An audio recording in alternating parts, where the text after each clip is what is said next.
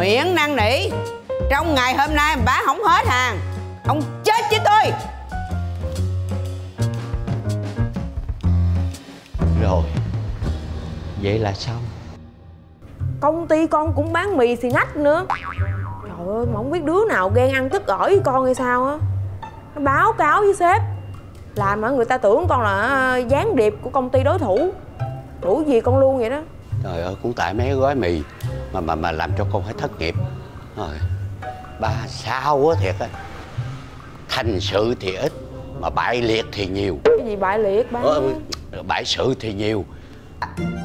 Mọi người có biết là cái nước Atiso đó bây giờ rất là tốt. Nó ít đường, tốt cho tim mạch Rất thích hợp cho người già, phụ nữ mang thai, trẻ sơ sinh và trẻ nhỏ. Không còn gái còn gái chưa có thai. À, Thì đó, tốt hết. Phải mua về bán đi chứ. Có không? xin lỗi chú Tôi định mua số lượng lớn. Tôi mua một lần 3 tấn về. Tôi trữ ở nhà tôi. Để dành tôi uống cho tới năm khoảng tám mấy tuổi. Uống tốt lắm. Nhập cái đó về bán đi nha. Hả? Cái tiệm này. Một cái tiệm bự như vậy.